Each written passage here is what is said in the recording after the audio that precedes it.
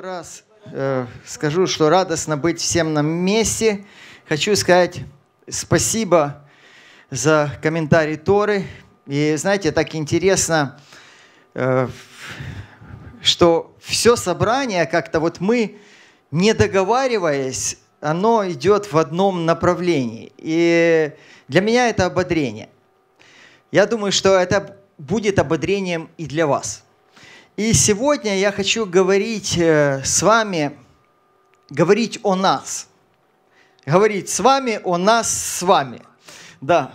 Э, смотрите, хочу говорить о церкви, о общине. И свою проповедь начну цитатой из Писания. Послание Ефесянам, 19 глава, ой, 2 глава с 19 по 22 стих. Итак, вы уже не чужие и не пришельцы, но согражданы святым и свои Богу, быв утверждены на основании апостолов и пророков, имея самого Иешуа Мессию краеугольным камнем, на котором все здание, слагая стройно, возрастает в святый храм в Господе – на котором и вы устрояетесь в жилище Божие Духом. Друзья, и в этом тексте мы с вами можем видеть две одних из любимых метафор апостола Павла, которые он любит очень часто использовать в своих посланиях. Он говорит, используя образ, образ здания, о верующих в Иешуа Мессии. Он также называет нас с вами храмом, святым храмом. Причем контекст данных стихов показывает о том, что Рав Шауль, он имеет в виду не каждого христианина лично, а имеет в виду сообщество верующих людей, которое состоит из евреев и неевреев. Рав Шауль утверждает, что жизнь общины, она строится на краеугольном камне, которым является сам Машиах. И основанием этого здания является учение апостолов и пророков, а Руах Акодыш помогает этому собранию собраться вместе. И суть здесь – собраться вместе. Я сейчас объясню почему. Потому что значение слова «устрояетесь» значит именно «собираетесь вместе». Вы знаете, скажу, что в этих стихах мы можем видеть также определенную тринитарность, на которую э, апостол Павел э, обращает наше с вами внимание. И это, это понятие, оно проходит красной нитью, скажу, через все послания Павла. Это как бы такой своего рода такой пласт его посланий основных он э, говорит о том, что мы видим тут, во-первых, видим участие Святой Троицы, мы видим Бога Отца, да, мы видим э, Сына и видим Духа Святого, который участвует в устроении общины. Во-вторых, мы видим, что Бог Отец сделает нас гражданами Божьего Царства – Иешуа является основанием общины, а Дух Святой ее созидает. Именно таким образом Рав Шауль видит церковь, устроение церкви. И сегодня я хочу говорить о важных фундаментальных понятиях, которые связаны с сообществом верующих людей, то есть общины Божьей. Я думаю, что многие из нас думают, что мы живем в удивительное время. И удивительным оно является потому, э, что мы видим такую широкую палитру всевозможных учений. Вот я удивительность вкладываю смысл именно в этом, что много разных учений в наше время. Мы можем видеть теория преуспевания – теория исцеления полностью всех верующих на этой земле, теория э, также царства без церковного руководства, церковь без церковного руководства, и об этом можно говорить. Э, таких примеров множество. Палитра, как я сказал, она достаточно широкая. И хотя эти заблуждения, они проявляются в церкви, но они являются плодом умозаключений определенных людей, но которые, в свою очередь, являются частью также Божьей Церкви. Вы знаете, но это не эксклюзивная особенность нашего времени. Я думаю, что э, всегда христиане, вот начиная от э, начала нашей эры, все всегда думали, что это последнее время. Я думаю, что на каждом сроке, на кажд... в каждом веку говорили, это последнее время. Были признаки последнего времени. Так и мы иногда думаем. Но я думаю, что последнее время началось как раз от жертвы Иешуа Мессии до его второго прихода. Это будет последнее время. Это и есть последнее время. И вы знаете, э, если мы с вами посмотрим внимательно Писание, то увидим, что в Новом Завете, в Брит Хадаша, апостолы как раз большое внимание обращали именно к урегулированию вопросов, проблем внутри первоапостольской церкви. Потому что очень часто мы говорим, мы хотим э, времена первоапостольской церкви. Тут стоило бы задать вопрос, какие времена – Э, ну, были времена очень непростые у первоапостольской церкви, скажу вам. Для примера, расскажу вам. Это все первый век. Послание к Галатам. Церковь начинает делать упор на, закончи, на законничестве, ударяясь псевдоправедность. И апостолу Павлу при, приходится эту ситуацию, как говорят у нас в молодежи, разруливать. Смотрите, послание к Колоссянам – проблема аскетизма, уход в аскезу. Мы видим дальше послание к евреям, возвращение в иудаизм. Апостол Павел говорит об этом. Книга Откровений, Откровений Николаитская ересь. Мы смотрим 1 Тимофея, богохульство служителей. Посмотрите, на, на всех периодах, в этом периоде есть определенные проблемы.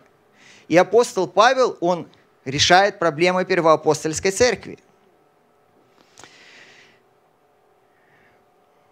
Читая Новый Завет, мы можем видеть э, то, что Павел стремится к тому, чтобы Божья община э, ходила в Божьем порядке и в Божьей чистоте. Община, которая является столпом и утверждением истины, но в ней происходят определенные моменты – и это не мешает утверждению того, что она является столпом и утверждением истины. Именно э, интересно то, что во все времена и во все сроки именно община являлась основной целью нападок врага. Хотя дьявол атакует личность, но он тем самым пытается нарушить целостность общины. Вы знаете, что Писание говорит нам, что врата ада не одолеют церковь. И это так действительно есть. Но дьявол все-таки пытается насадить всевозможные вот эти вот ветра учения, чтобы поколебать непоколебимое.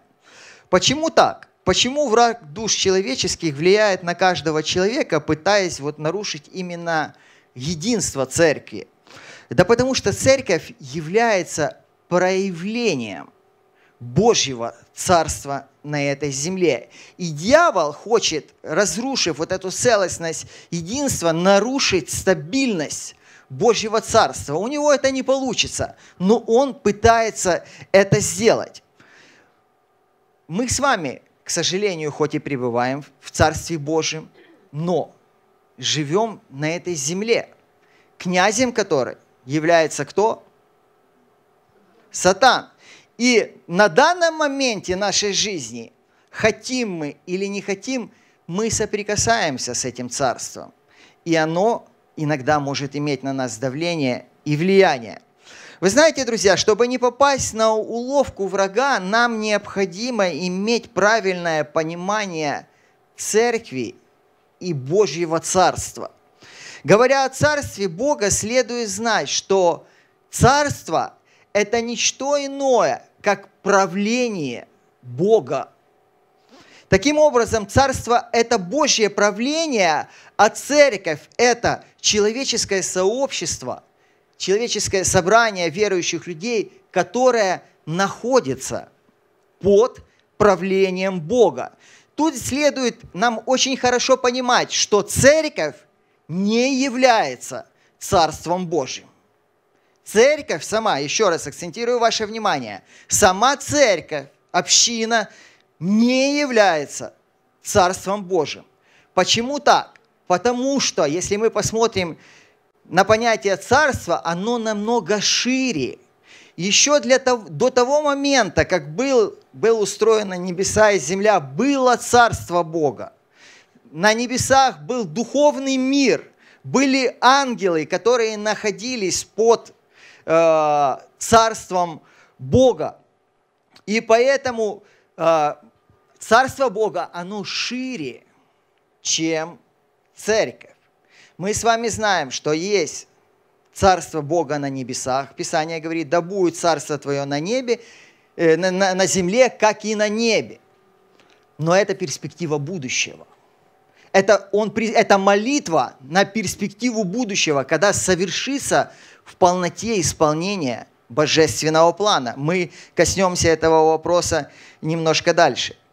Смотрите, если церковь не является царством, но имеет тесную связь с ним, находясь под божественным управлением, то можно смело утверждать, что церковь является выражением Божьего Царства на этой земле, и поэтому церковь наделена определенной миссией. Она несет миссию Божьего Царства на этой земле. Эта миссия – это свидетельство о Царстве. То, что говорил Сергей Михайлович о том, что свидетельство, народ вышел для того, чтобы стать народом и свидетельствовать о том, что Бог их вывел. Бог их царь. Посмотрите, процитирую, опять текст цитировался э, в современном переводе, процитирую его э, в синодальном переводе. 1 Петра 2.9. Но вы род избранный, царственное священство, народ святой, люди, взятые в удел, дабы возвещать совершенство, призвавшего вас из тьмы в чудный свой свет. Мы призваны свидетельствовать этому миру о совершенстве Бога, который призвал нас в чудный свет, который призвал нас в свое царство. В этом наша миссия. И это было основной целью существования ветхозаветнего Израиля, который через свои вот заветные отношения с Богом – он как раз через свое существование как Божьего народа, он должен был заявлять о том, что я в отношениях с Богом, я, в ца... я тот народ, царем которого является Бог. И Бог всегда делает упор на этом моменте, показывая, что я царь. Вы помните, Израиль в свое время захотел человеческого царя, как отреагировал на это Бог. Это не было Божьим намерением. Он хотел, Бог хотел быть царем э, израильского народа. Также говоря о царстве и церкви, следует отметить, что церковь, а Божья община, она является орудием Божьего царства. Бог действует через свою общину, Бог действует через нас с вами. Он хочет это делать. И для этого он наделил свою общину силой Духа Святого. На день Пятидесятницы сама ситуация, как это происходило, она показывает, что когда народ собрался вместе, произошло нечто. И Бог сказал, я предваряю вам быть там вместе. Мог ли Бог крестить каждого силой Духа Святого там, где он находится? Да мог. Легко. Но это не было его божественным планом. Его божественный план высвободить свой Дух Святой на сообщество верующих людей, на Божью общину. И я скажу вам, что сила, она проявляется как на, э, Духа Святого, как на индивидуальном уровне в нашей жизни, в лично каждого, так и на коллективном уровне, но она высвобождается для созидания Божьего Царства. Руаха Кодыш нацелен на созидание и утверждение Божьего Царства на этой земле. Стоит заметить, что церковь никогда не была организмом индивидуалистов. Нет, само понятие общины – это есть общность, это есть целостность, это есть собрание людей, соединенных вместе. Именно общность является составляющей церковью. И хотя Божьи дары, они даны каждому члену церкви, но их предназначение – это созидание тела Мессии. Это очень важный момент. Следующее, на что стоит обратить внимание, это то, что церковь хоть и является божественным творением, но она состоит из несовершенных людей несовершенных, людей, которые по-любому делают порой неправильные поступки. Да, мы стремимся к совершенству. Делаем ли мы неправильные поступки? Да, конечно, делаем. Потому, потому что еще не наступило время, когда мы их делать не будем. Оно наступит, но еще не наступило. И э, как сообщество мы не можем достичь совершенного освящения – до возвращения нашего Господа и Спасителя Ишуа Хамашеха. Это происходит потому, что божественный план, он находится в стадии своего развития. Поэтому утверждение, э, поэтому утверждение Божьего Царства также находится в процессе своего развития. Я хочу зачитать вам один интересный текст. Это 1 Коринфянам, 15 глава, с 20 по 25 стих.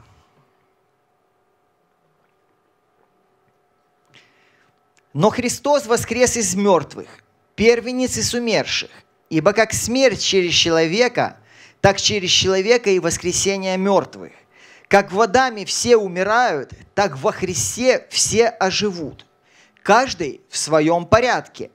Первенец – Машех, потом Христовый в пришествие Его, а затем конец, когда Он предаст царство Богу и Отцу, когда упразднит всякое начальство и всякую власть и силу, ибо Ему надлежит царствовать, доколе не сложит всех врагов под ноги свои. И в этом тексте мы с вами как раз видим вот эту вот эсхатологическую перспективу, перспективу будущего, что когда придет Машиах, произойдут определенные события. И со вторым пришествием что связано? Со вторым пришествием связан суд, мы знаем с вами это.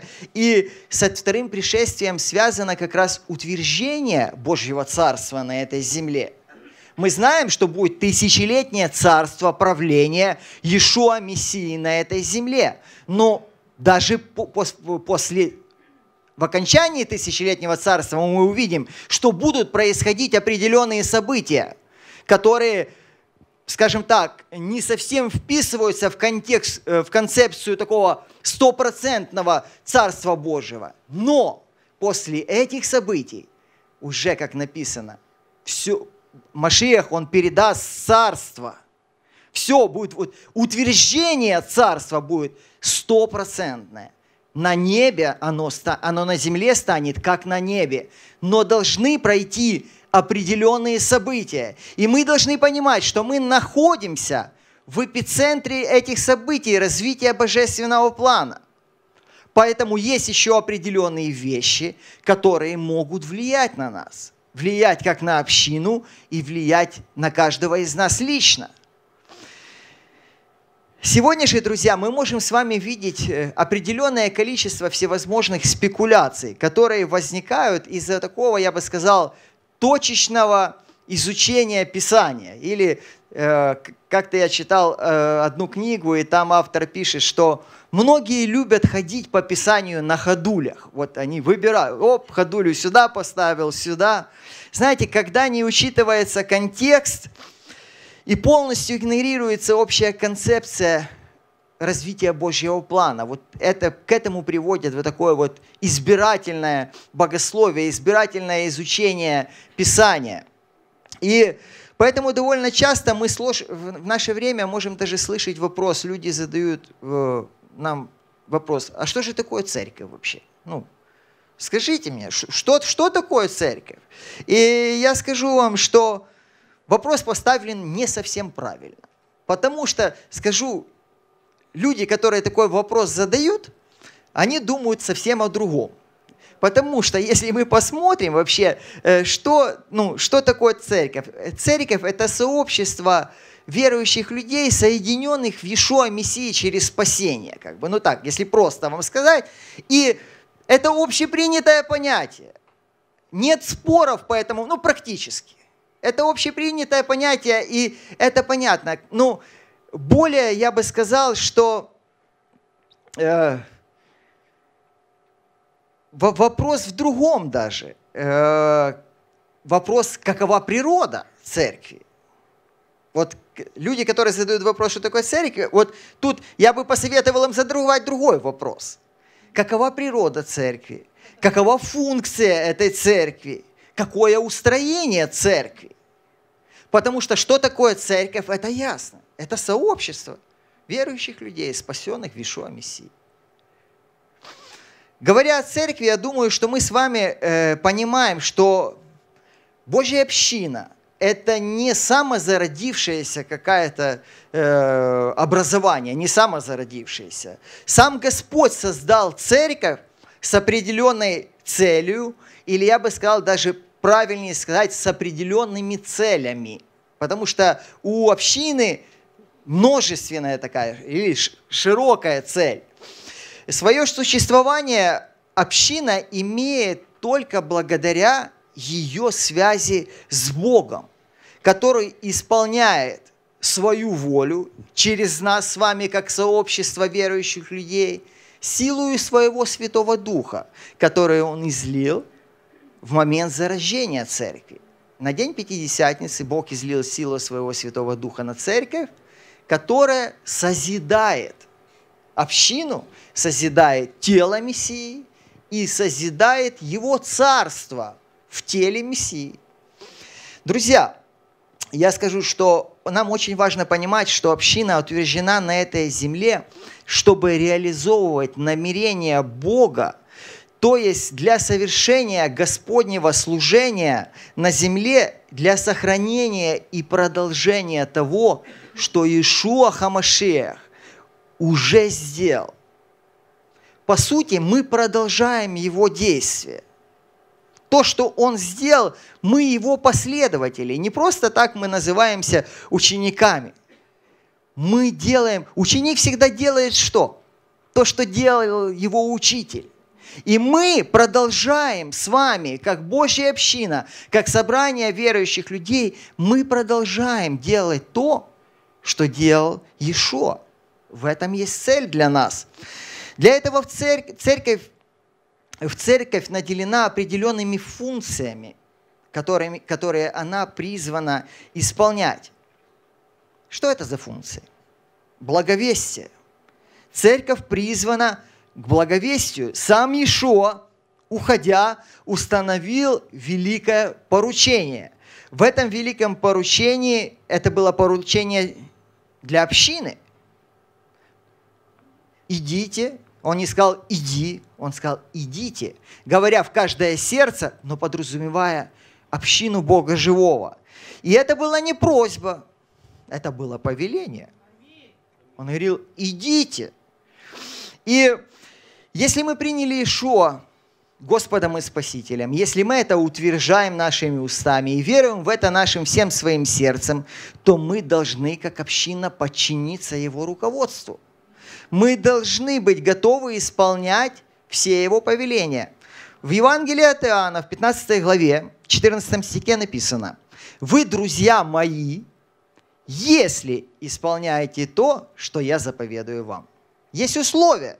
Вы, друзья мои, если исполняете то, что я заповедую вам. Следующая функция – назидание верующих. Мы должны назидать друг друга. В общине происходит назидание друг друга. Я скажу вам так. Пример приведу. Знаю, э, она э, не христианка, но тут виден очень интересный принцип. Мы знаем с женой, мы, э, скажем так, достигаем одну женщину, которая мусульманка является. И вот она в свое время очень активно посещала эти мусульманские собрания. У них так же самое есть основы веры, все, они учатся, там серьезный подход. И вы знаете, по ней было видно, что она мусульманка. Она одевалась, она не ходила в киджахе там, но она одевалась очень сдержанно. Прошло время, у нее там с, мужем какие-то там вопросы произошли, она перестала ходить в это собрание. Сейчас этого человека не узнать. Все, все изменилось. Неприсутствие в обществе меняет мышление. Почему? Потому что нет назидания. Не надо далеко ходить. Если человек себя отделяет от общины, мы видим, я не видел, скажу, в своей жизни, чтобы человек самостоятельно возрастал, ушел с общины и возрастал. Оно происходит наоборот. Обратная реакция, потому что мы назидаем друг друга. И это функция общины. 1 Фессалоникийцам, 5 глава, 11 стих. Посему увещевайте друг друга и назидайте один другого, как вы и делаете. Именно внутри общины проходит здоровое духовное назидание и наставление христиан.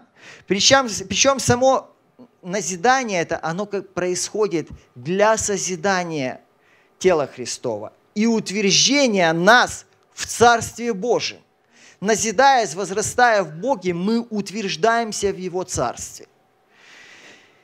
И производит Бог, опять же, это, используя дары Святого Духа, которые даны на созидание общины. Также это поклонение, взаимное поклонение верующих. Причем хочу сделать акцент, что это совместное поклонение Богу. Сделаю даже более радикальное Э, заявление – это поклонение на богослужении.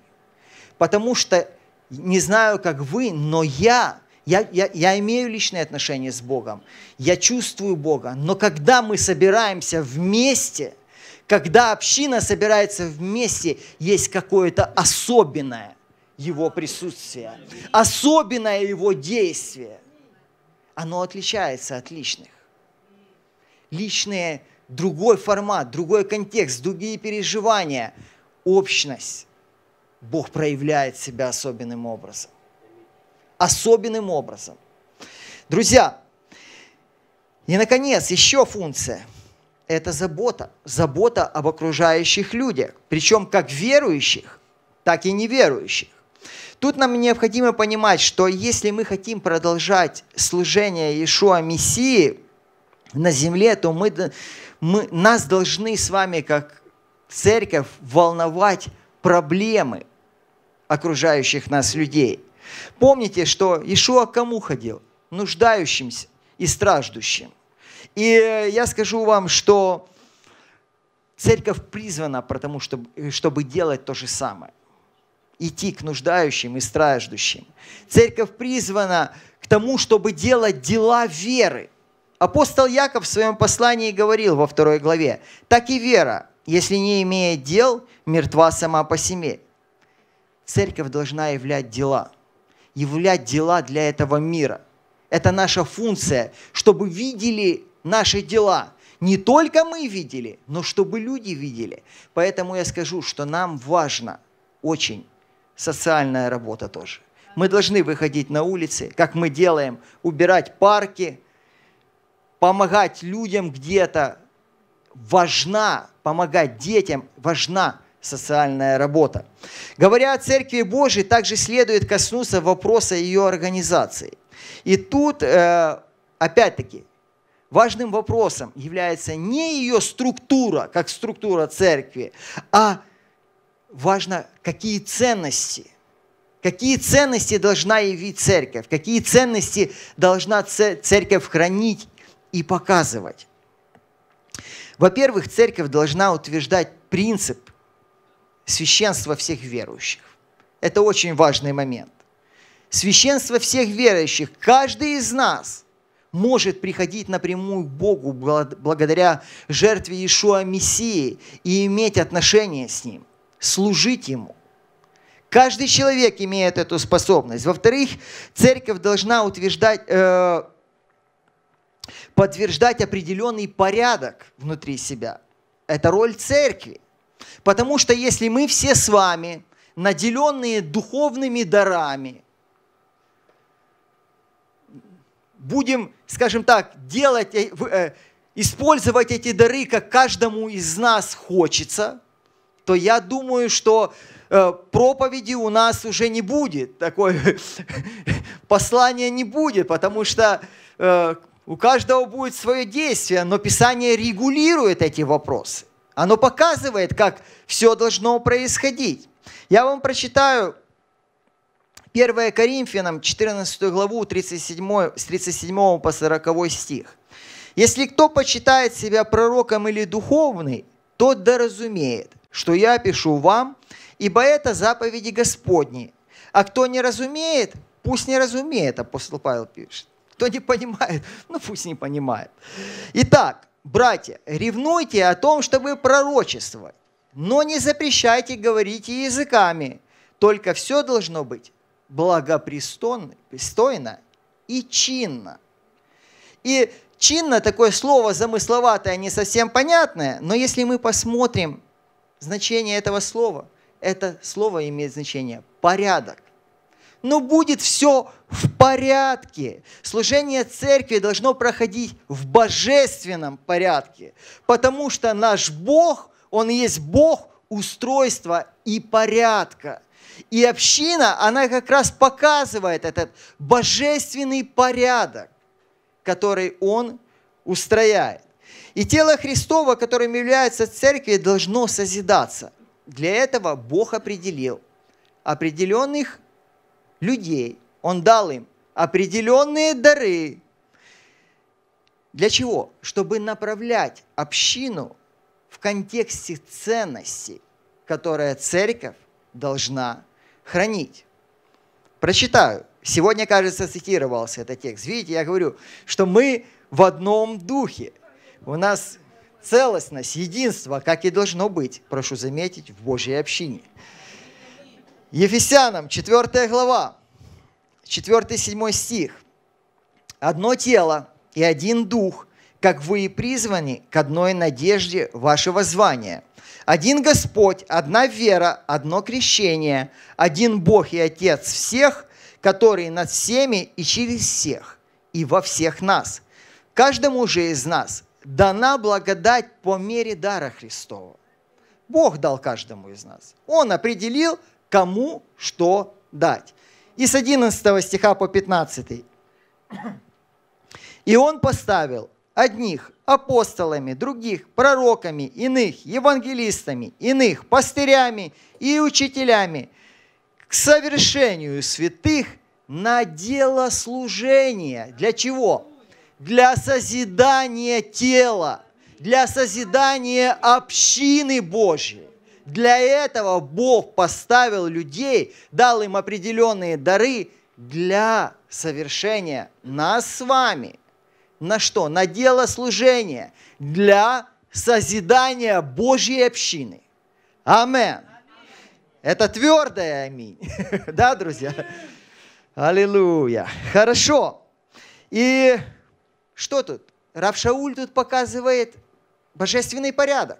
Он показывает божественный порядок устроения Божьей общины. И церковное руководство поставлено для чего? Чтобы как раз Божий народ – не ушел вслед каких-то ветроучений. Чтобы эта вся палитра прошла мимо нас с вами. Для этого есть церковное руководство. Опять же, не может ли церковное руководство э, заблуждаться? Да может, потому что мы не все несовершенные люди. Но я верю, что каждый из нас даст ответ перед Богом. И поэтому уже вопрос не наш, не, не к нам, почему, да вот они. Нет, этот вопрос будет уже регулировать сам Господь.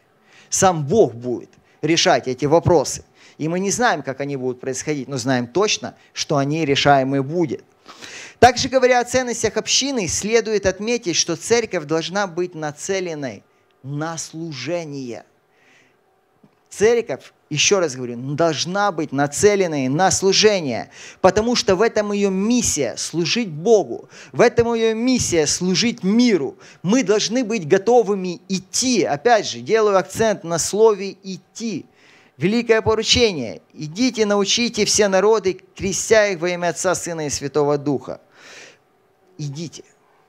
Почему? Да потому что ценностью нашей есть служение. Если мы будем сидеть, то кому служить? Мы начнем служить только друг другу, но мы должны служить идти, служить этому миру, нести ценности царства в этот мир. Ишуа не сказал, что я забираю вас мира и, отделяю вас, и вы будете общиной свет. Нет. Он забрал нас, отделил, сделал общиной. Для чего? Для того, чтобы мы шли. Для того, чтобы мы проповедовали Евангелие. Для того, чтобы мы возвещали устами, жизнью, миру о том, как благ Господь. Друзья, итак, прежде чем двигаться дальше, хочу сделать несколько выводов об общине Бога Живого. Община является частью Божьего Царства, его выражением на этой земле. Она неразрывно связана с Богом и утверждена для реализации божественного плана, продолжая дело служения Ишуа Мессии. Для этого община наделена определенным Богом функциями и организация для, для сохранения божественных ценностей. И теперь мы переходим с вами к самому интересному вопросу. Говоря языком, опять же, языком метафор, все это здание или тело э, Мессии созидается на краеугольном камне, которым является Иешуа Хамашеях, наш Господь. Как мы с вами хорошо знаем, что благодаря жертве Мессии, Его воскресению и содействию Святого Духа была заражена Божья община. В ее основании есть некое действие, некое действие Иешуа, которое смело можно назвать э, каркасом церкви. Я э, немножко на правах рекламы поделюсь с вами. Э, мы немного этот вопрос на домашней группе поднимали. И, опять же, на правах рекламы призываю вас, ходите на домашние группы, мы поднимаем там серьезные вопросы. Это будет для вас хорошим временем взаимного назидания. Друзья, э, хочу говорить о понятии, которое называется кинозис богословие называется кинозис. Э, открою вам небольшой секрет. Можно? Открою. Сейчас э, очень с большим трудом выговорил это слово. Почему? Моя жена Ирина, она постоянно меня ругает чтобы я не, не говорил таких с, с кафедры замысловатых словечек. Но у меня есть четко выстроенная линия моей защиты – и, и я вам сейчас ее открою. Мое желание, чтобы община Божья была образованной. И я объясню, что такое кинозис, но я хочу, чтобы Божья община была образованной, чтобы мы имели твердую веру, твердые знания и убеждения в нашей вере, чтобы мы могли не увлекаться ветроучениями, а могли быть способными ответить, когда надо. Чтобы мы могли знать и могли даже объяснить правильную позицию. Для этого, Ирочка, прости. Итак, кинозис, да. Я буду меньше попытаться употреблять это слово. Послание к филиппийцам, вторая глава. 6 по 11 стих. Он, будучи образом Божьим, не почитал хищением быть равным Богу, но уничижил себя самого, приняв образ раба, сделавшись подобно человеку и по виду став как человек, смирил себя, быв послушным даже до смерти и смерти крестной. Посему и Бог превознес его и дал ему имя выше всякого имени, дабы пред именем Иешуа преклонилось всякое колено небесных, земных и преисподней. И всякий язык исповедовал, что Господь Иешуа Машеях в славу Бога Отца. И, как правило, когда мы с вами читаем этот библейский гимн, а это действительно библейский гимн, э, наше внимание, оно останавливается на смирении. Да? Мы, вот первое, что нам кидается в глаза, это смирение, что Машеях, он смирил себя. И это действительно так. Но э, смирению предшествовало некое определенное действие Бога. И это действие мы видим в седьмом стихе. Написано, он уничижил себя самого. И значение слова «уничижил» – опустошил. Он опустошил себя самого. Его корнем является слово на греческом «кино» – опустошать, делать тщетным. От этого слова как раз происходит это понятие, о котором я чтобы не произносить это слово лишний раз, говорю. Что это значит? Или как нам это понимать? Писание показывает нам, что Господь Ишуа, будучи Богом и существуя от начала этого мира, будучи агнцем, от, начала, от начала этого мира предназначенным, как об этом написано в первом послании Петра в первой главе, Иешуа, будучи Богом, а мы знаем, что Он был Бог всегда. Он, будучи Богом, что Он сделал для искупления нашего? Он опустошил себя. Писание показывает, Он опустошил себя. Что это значит? Он оставил свои божественные свойства. Он оставил всеведение он оставил вездесущность. Он, он воплотился, он был во плоти, он оставил эти моменты, он оставил свою бесконечность. И этот список можно перечислять очень много. Что же все-таки Иешуа оставил? Он опустошил себя и стал как человек. Вы знаете, друзья, я скажу вам, что сам факт того, что Бог – стал человеком, это уже уничижение, это уже опустошение. Но это не все.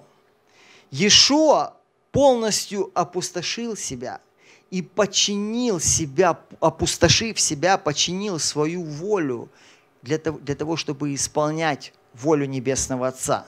И мы видим на протяжении всего его земного служения, он делает акцент, что делаю волю Отца моего.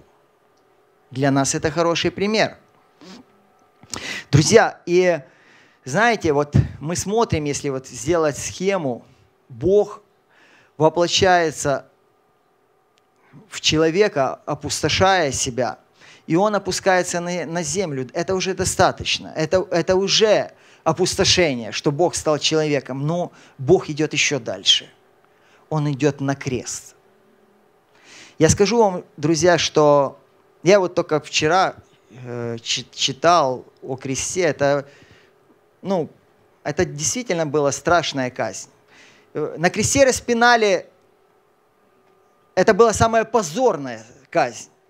Распинали разбойников, распинали изменников, э, распинали э, военных преступников и распинали беглых рабов. Это, э, скажу так, что для римского гражданина само понятие креста, они даже об этом говорить не хотели. Они сторонились, для них это было настолько мерзко и чуждо, что они даже ну, не хотели с этим связываться. Но Ишуа, он опустошил себя для того, чтобы взойти на этот крест. Именно такая жертва покрывала своей ценой грехи всего мира. Именно такая жертва, она принималась Отцом как искупительная жертва за грехи всего человечества. Поэтому мы видим, что после жертвы Иешуа Мессии, после этого состояния опустошения, что происходит? Бог его превозносит. Бог его превозносит, возвышает и дает ему имя выше всякого имени. Друзья, если мы будем внимательны, то сможем увидеть, что вот этот вот кинетический мотив, он проходит через все Писание. Через все Писание. И начинается это самого акта творения. До сотворения мира, до сотворения духовного мира был один Бог. Не было ничего, был один Бог. И для того, чтобы что-то сотворить, ему надо было опустошить часть себя. Все было Бог, ничего нету, один Бог. Начало и конец, и он опустошает себя для того, чтобы явить творение. Друзья, мы видим, что завет с Богом, опять же, Опять же этот мотив. Бог связывает себя. Верховный царь, верховный правитель, Господь, Бог богов, Он связывает себя отношениями. До этого момента, пока не было дано откровение записанное, Бог делал, я понимаю, что его природа была такая, что он неизменен, но по сути он мог делать так, как он хочет, но он отношениями с человеком, он отношением с, с народом, он связывает себя. И это тоже его опустошение для, для нас. Мы можем видеть кинозис в самой Святой Троице. Я хочу вам прочитать, э, как говорит об этом митрополит Макарий. Каждая из лиц Троицы живет не для себя самого – но без остатка отдает себя другим ипостасям, оставаясь при этом полностью открытым для их ответного действия. Так что все три сопребывают в любви с друг другом. И что мы видим? Три ипостаси, но каждая почитает один другого больше. Каждая готова опустошить себя для другого – Друзья, подходя к концу своего послания, я хочу попросить группу прославления выйти первой. Если можно, пожалуйста. Подходя к концу своего послания, хочу сказать, что для нас с вами понимание уничижения Христа очень и очень важно. Если мы будем это понимать и помнить, то в Божьей общине никогда не будет разделений. Это важно как для личного хождения и как для общества верующих людей в целом. В нашем личном хождении перед Богом мы должны быть готовы опустошить себя для того, чтобы принять подаваемую Богом благодать. 1 Петра, 1 глава, 13 стих. «Посему, возлюбленные, припоясав чресло ума вашего, бодрство, совершенно, совершенно уповайте на подаваемую вам благодать в явлении Ишуа Мессии. Вы знаете, мы такие удивительные с вами, что мы можем эту благодать и отвергать.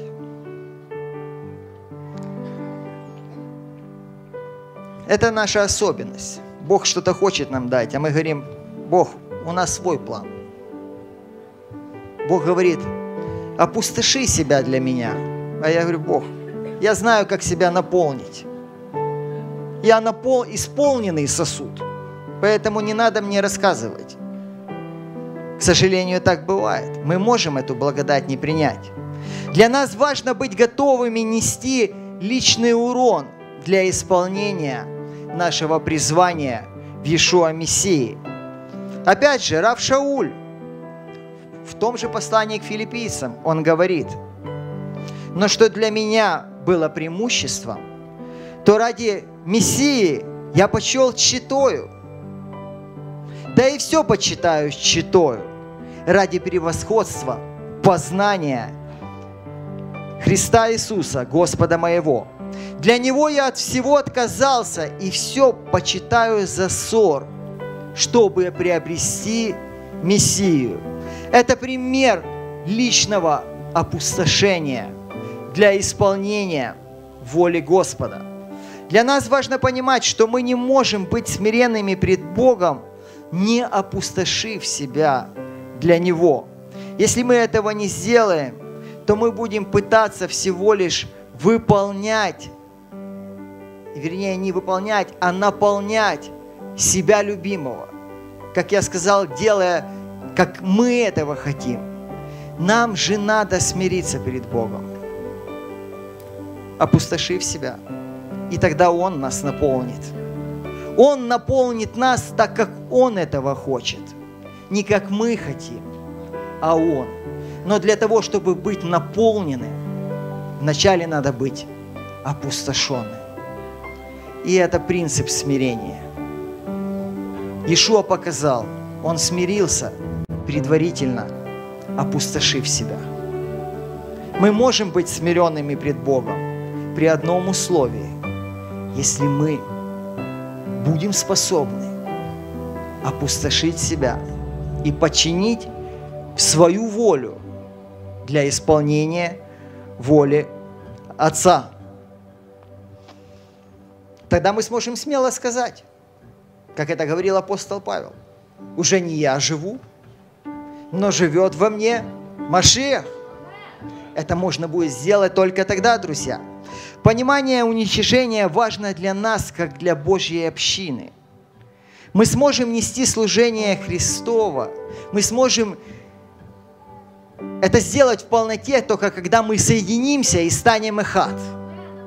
Когда мы станем один народ, как один человек. И кинозис Троицы показывает нам, какими должны быть отношения между братьями. Какими должны быть эти отношения? Мы видим, что внутри Троицы ипостаси почитают друг друга больше. Так и мы должны это делать. Почитать один друг друга больше. Принимать один другого. Но как мы можем принять? Только если мы будем готовы опустошить себя для другого не для себя, для другого. Евангелие от Матвея пишет, 20 глава, 26-28 стих, «Но между вами да не будет так. А кто хочет быть между вами большим, да будет вам слугою. И кто хочет быть между э, вами первым, да будет вам рабом.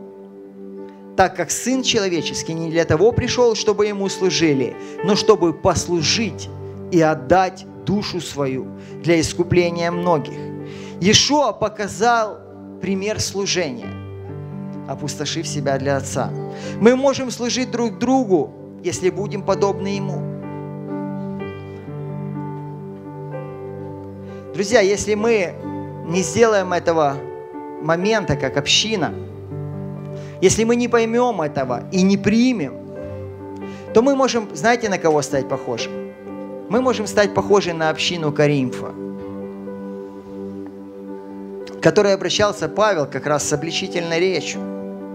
Я прочитаю вам. 1 Коринфянам, 4 глава.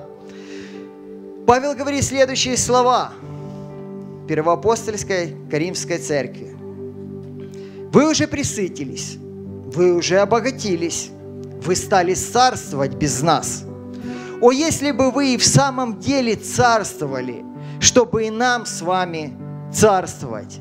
Ибо я думаю, что нам, последним посланникам, Бог судил быть как бы приговоренными к смерти, потому что мы сделались позорищем для мира, для ангелов и человеков. Мы безумны Христа ради, а вы мудрые во Христе. Мы немощи, немощны, а вы крепки. Вы в славе, а мы в бесчестии. Можно много утверждать о том, что мы победоносные, о том, что у нас все прекрасно. но мы видим слова. Пример победоносной церкви – это пример церкви, которая опустошила себя для Бога. Павел обращается с такими словами к общине, которая что? Община порвана на кланы. Богатые уничижают бедных. Неправильное отношение к вечере Господней. Грехи такие, которых неуверующих всегда увидишь. Из его слов понятно, что своим примером он показывает образ жизни. Образ жизни и образ мышления в Божьей общине, которая является частью и выражением Божьего Царства на этой земле. Но я верю, что Бог с нас с вами хочет видеть славную невесту, невесту, уходящей в чистоте, которая отображает образ Господа нашего и Спасителя Иешуа Мессии. Церковью, которая готова опустошать себя для Него. Для того, чтобы быть наполненной Божью благодатью. Для того, чтобы, взирая на подвиг души нашего Господа, соединяться в состояние эхат, один народ, как один человек, для смирения, смиренного служения Богу и исполнения Его божественного плана через нас в это время. Друзья, и сейчас мы все с вами, община, мы находимся в, я считаю, ключевой период становления нашего общества, как церкви, как общины верующих. Бог родил каждого из нас в это время, поместил в общину Орха Машех, потому что у него есть план. план свой план для созидания Его Царства нами с вами. Бог дивным образом нам в это время дает здание. Я скажу вам, друзья, ни у одной из харизматических церквей города нету здания. Бог нам дает – но его цель не здание. Его цель, чтобы община снарядилась и шла, проповедуя Евангелие, служа людям. И я понимаю, что здание, оно открывает возможности для служения. Оно высвобождает финансы. Оно у нас будет плацдарм для того, чтобы молиться. Ночные молитвы, ходатайство. Я верю, мы можем 24 на 7 делать все, что мы хотим. Молиться, служить, принимать людей. У нас будут высвобождены финансы для того, чтобы посылать миссионеров, делать работу, социальные проекты. Бог этого хочет. Но сегодня наш ответ, насколько мы, лично каждый, и насколько мы, как община, готовы опустошить себя для того, чтобы Божий план утвердился в этом городе. Это наша ответственность, как общины. Насколько мы готовы оставить свою я и сказать, я готов подчинить себя для того, чтобы исполнить Его волю в этом городе. А Его воля – чтобы община Орхамашея имела дом молитвы. Насколько мы готовы тратить свое время, свои силы, говоря, понимая, что мое здоровье я имею потому, что Он мне дал его. Мои финансы, потому что Он дал мне. Все, что я имею, Он дал мне. И моя благодарность выражается в служении Ему так, как Он этого хочет. Готовы ли мы опустошить себя? Я думаю, что готовы. Если Ишуа Хамашех, придя на эту землю, это сделал, Он показал нам пример, чтобы мы шли по следам Его. Да, на крест Голгофы мы не взойдем с вами, друзья, но мы можем каждый из нас взять свой крест и идти с этим крестом по нашей жизни – исполняя эту волю, Его волю. И тогда я верю, что мы все с вами. Настанет время, и мы увидим утверждение Его Царства на этой земле. Мы увидим, когда не будет больных, не будет страждущих, когда мы действительно будем процветать, потому что нам ничего не надо будет, у нас уже все будет. И наше процветание – это созерцание Его красы, а не земные блага. Это настанет, если мы, если мы будем делать то, к чему Он нас определил. Поэтому давайте мы встанем на наши ноги и помолимся, чтобы понимание киносиса, вот этого опустошения Бога, Мессии, оно пришло в глубоко в наши сердца, в нашего внутреннего человека, и мы были готовы поступать так, как поступал Он. Чтобы мы были готовы посвятить себя для служения Богу. Авину Малкейну, святый, Боже, мы благодарим Тебя, Ишуа, за Твою жертву на кресте Голгофы. Взирая на подвиг души Твоей, Боже, мы благоговеем, святый, и мы умиляемся пред Тобою. Мы хотим сказать спасибо Тебе за то, что Ты пришел на эту землю, умер на кресте для того, чтобы мы имели жизнь.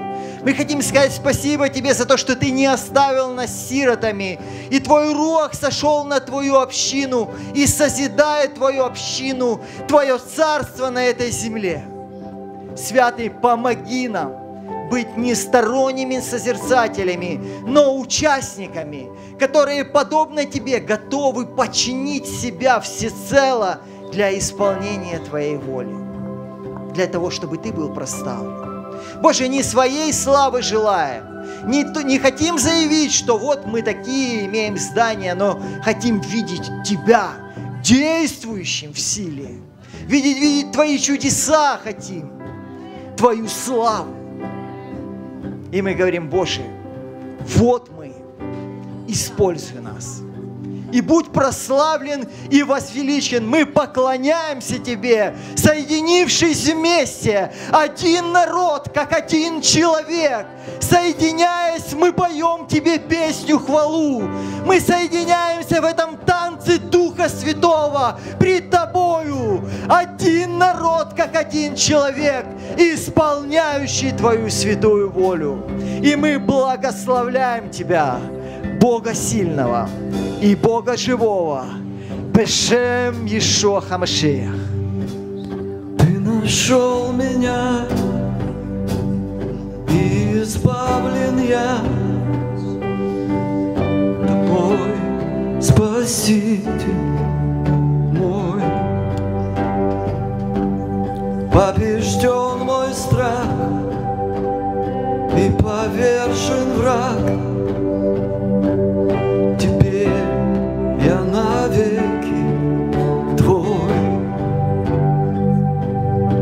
Больше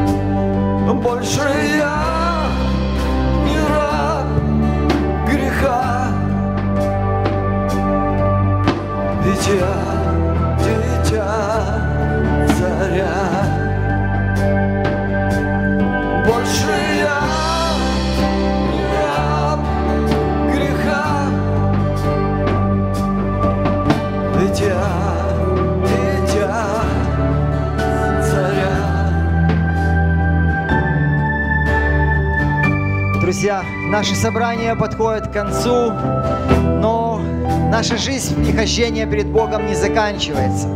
Давайте всегда ходить перед Ним, как дети царя. Давайте всегда будем помнить, будем помнить, к чему мы призваны. Давайте будем созидать Его Царство на этой земле. С миром Божьим, друзья, пусть Бог Авраама, Исхака и Якова благословит вас, обратит вам свое лицо, дарует вам свой мир и свою благодать и зальет на вас с избытком. С миром Божьим!